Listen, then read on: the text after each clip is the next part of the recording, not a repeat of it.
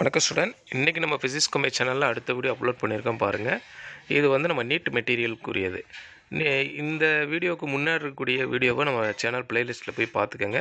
அதுக்கு முன்னாடி நம்ம சேனலை மறந்துடாமல் சப்ஸ்கிரைப் பண்ணிக்கோங்க. நம்ம வீடியோ பிடிச்சிருந்துச்சுன்னா லைக் பண்ணுங்கள் ஷேர் பண்ணுங்கள் வாங்க வீடியோக்குள்ளே போகலாம்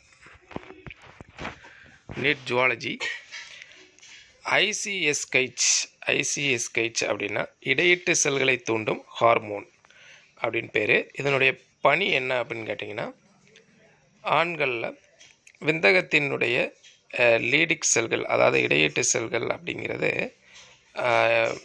விந்தகத்தின் மீது செயல்பட்டு ஆண்பால் ஹார்மோனான டெஸ்டோஸ்டிரோனை உற்பத்தி செய்கிறது.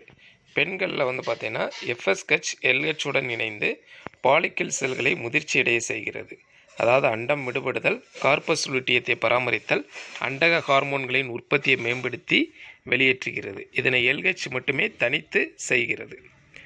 எஃப்எஸ்கச் மற்றும் எல்ஹெச் இரண்டும் வந்து இனப்பெருக்க ஹார்மோன்கள் அப்படின்னு அழைக்கப்படுது. லியூட்டியோட்ராஃபிக் ஹார்மோன் அல்லது லூட்டியோட் ட்ராஃபின் லூட்டியோட்ராஃபின் அப்படிங்கிறது எல்டிஹெச் லூட்டியோட்ராஃபின் ஹார்மோன் இதனுடைய வகை வந்து புரத ஹார்மோனாக உள்ளது. இதனுடைய வேறு பெயர் அப்படின்னு பார்த்தீங்கன்னா luteotrophin. Lactogenic hormone prolactin mammotrophin இதனுடைய பெயர் காரணம் பார்த்தீங்கன்னா பெண்களின் அண்டகத்தில் கார்பஸ் லூட்டிய வளர்ச்சியை தூண்டுவதால் லூட்டியோட்ராஃபிக் ஹார்மோன் என அழைக்கப்படுகிறது. இதனுடைய பணி குழந்தை பிறப்புக்கு பின் பால் உற்பத்தியை தூண்டுகிறது. பாலூட்டும் பெண்களுக்கு எல்டிஹெச் அதிகரிப்பதால் எல்ஹெச் சுரப்பு மற்றும் அண்ட வெளியேற்றம் தடுக்கப்படுகிறது. பாலூட்டிகளை தவிர பிற முதுகெலும்பிகளிலும் பார்ஸ் இன்டர்மீடியா உற்பத்தி செய்யும் ஹார்மோன் எம்எஸ்கைச் அதாவது மெலனோசைட் தூண்டும் ஹார்மோன். எம்எஸ்கைச் அப்படின்னா மெலனோசைட் ஸ்டிமுலேட்டிங் ஹார்மோன். இதனுடைய பணி வந்து பார்த்திங்கன்னா தோலின் நிறமாற்றத்தை தூண்டுவது ஆகும். வாசோ வாசரோப்சின் மற்றும் ஆக்சிடோனிசியல் உள்ள அமினோ அமிலங்களின் எண்ணிக்கை எத்தனை அப்படின்னா ஒன்பது. பிட்யூட்டினுடைய பின்கதிப்பு எவ்வாறு அழைக்கப்படுகிறது? நியூரோ ஹைப்போசிஸ் அப்படின்னு சொல்லி அழைக்கப்படுகிறது. இது இரண்டு ஹார்மோன்களை சுரக்கிறது. ஒன்று anti diuretic hormone ADH vasopressin வகை வந்து பார்த்திங்கன்னா பெப்டைடு ஹார்மோன் வேறு பெயர் வந்து ஆன்டி டயூர் யூரிட்டிக் ஹார்மோன். வாசோட்ரோபின் அல்லது சிறுநீர் பெருக்க பெருக்கத்திற்கான ஹார்மோன் அது.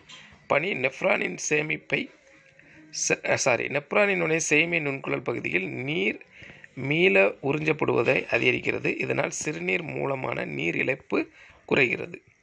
மிக மிகை சுரப்பி இது அதிகமாக சுரந்தால் இரத்த குழல்கள் சுருங்க செய்து இரத்த அழுத்தத்தை உயர்த்துகிறது. குறைவாக சுரக்கும் பொழுது இது குறைவாக சுரந்தால் டயாபெட்டிஸ் இன்சிபிடஸ் என்னும் மிகை சிறுநீர் உற்பத்தி நிலை ஏற்படுகிறது.